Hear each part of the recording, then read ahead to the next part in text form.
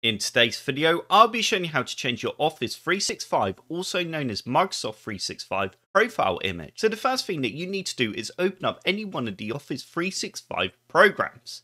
I'm going to open up Word. Once you have opened up one of the programs, you then need to select Account. You will then see your current profile image. As you can see, I'm currently using some penguins. So the next thing that you need to do is click on Manage Account on the right hand side underneath the product contains. This will now open up your web browser. You need to go ahead and type in the password for your Microsoft account and then press sign in. Once you have signed into your account, you now need to select your info in the top left hand corner. You will then end up on a page that looks like this, and you will now see your profile image. As you can see, there's the image of the penguins.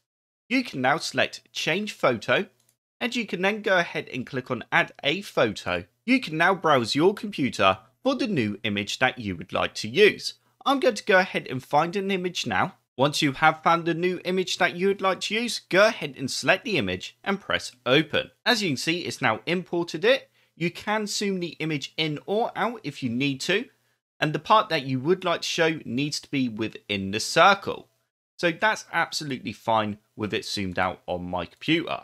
Once you're happy, go ahead and press save and you can now press close and as you can see the image has now been changed. If I now go back to Office 365 you should now have the new image that you selected.